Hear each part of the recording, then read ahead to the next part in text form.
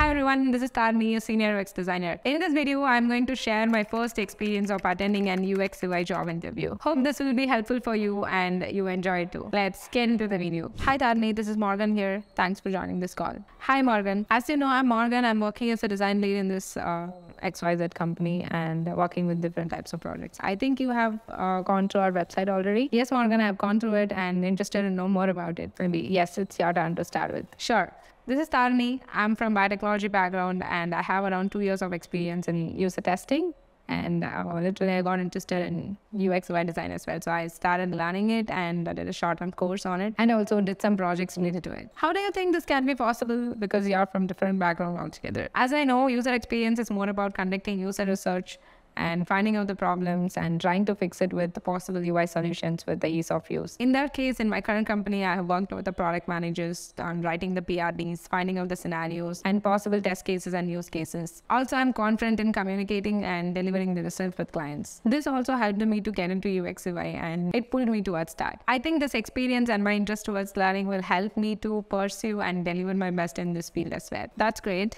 What kind of projects have you done so far?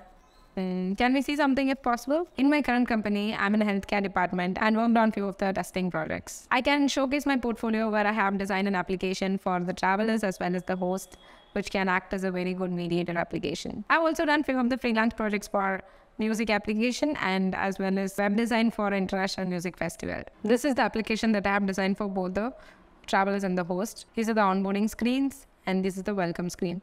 So uh, in this application, travelers can able to choose the uh, vacation rentals across the different countries and travel over. And also users can search by different places, prices, amenities, and more. And uh, hosts can also be able to schedule their own price and requirements for guests, and also they can uh, list whatever the qualified guest will be. And uh, travelers can also contact them with different questions uh, before and after they start. Travelers can post their travel experience in the Explore page by sharing their travel photos, videos, blogs, etc. And uh, they can also view their own profile by sharing whatever they have shared so far will be available, just like Instagram. So I've tried to redesign it based on that. And they can also share with Instagram and different application as well at the same time. To design this, I have also followed the design process of defining, discovering, ideating, design, and test. So I have uh, conducted a user survey, and from that I have tried to collect the user interview and data empathy mapping. And also I have uh, come up with the user personas from whatever the information that I have collected from the user. And these are some of the user scenarios and uh, storyboarding that I have done for that particular user story. And I have done cost sorting and information architecture to build upon uh, what we can do next based on the ideation flow that we have created. This is the user flow and these are the low fidelity wireframes. And these are the high fidelity wireframes.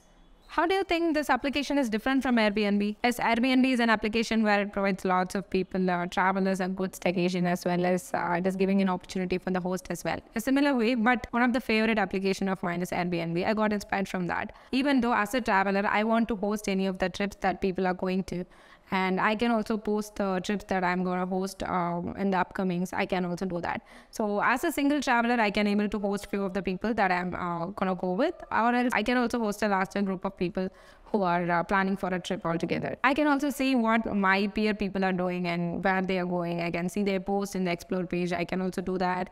And uh, I can also share my uh, experience, travel experience at the same time in different types of applications. What kind of design process do you usually follow? Thanks for the question. So I usually start with uh, the gathering the requirements from the client. Like it can be either from the client or it can be from the user. So I usually start from gathering the requirements and writing up the scenarios, like what kind of scenarios can happen. And also I'll try to do a secondary research and a market analysis a bit to find out whether this problem is already solved or not. After that, once I found the competition between other things and um, the product that we are going to come up with, uh, I'll start conducting the user interviews or in user surveys. So based on the responses, I'll try to gather um, more information and I'll try to ideate based on the user needs. And then I'll come up with a solution. So solution doesn't depend on only me. I can also uh, collaborate with other designers and uh, I can also test some of the uh, wireframes and uh, sketches with the users to see their responses. And once that has been done, I'll try to implement the same on the visual designs. What do you think is important for UX design? If you ask me this question, then my answer will be you have to be in the current trend. That is very important when it comes to UX design. I think for both UX and UI, we need to be in the current trend to see uh, what can we do new and what can we introduce or uh, how it can be simply done. That's what we need to research more about uh, whatever the product that we are, we are designing for. Which one do you like and how much do you rate yourself for both UX and UI? I think I like both UX and UI and uh, I think I can rate myself in UX around uh, 9 out of 10 and same for UI. So I think you are very much goal oriented. So where can I see you in next five years? I found my interest recently that is uh, UX UI design. Maybe in next five years, oh, whatever can happen. That is like maybe I would be able to find what I'm exactly interested in or specifically interested in this field. Uh, also, but I'm sure that I'll be a better person uh, personally and also a career wise from what I'm currently now. Can you give me an example of a good design and a bad design based on your experience? One of the very good experience that I'm recently facing is I can be able to track whatever the thing that I'm ordering online.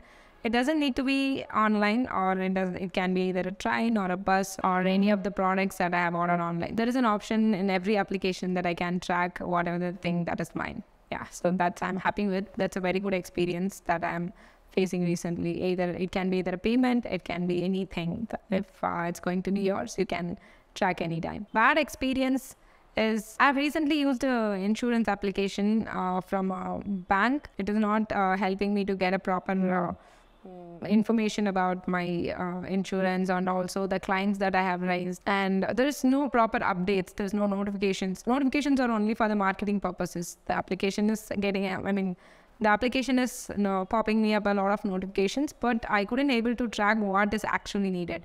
So uh, that is one of the bad experience that I recently faced. I couldn't able to raise a query or uh, talk to any of the customer care. Like if only only if you uh, raise something like if you uh, text or mail someone, then only the people are be, people are responding after eight days. So which is a very uh, bad customer experience, I think.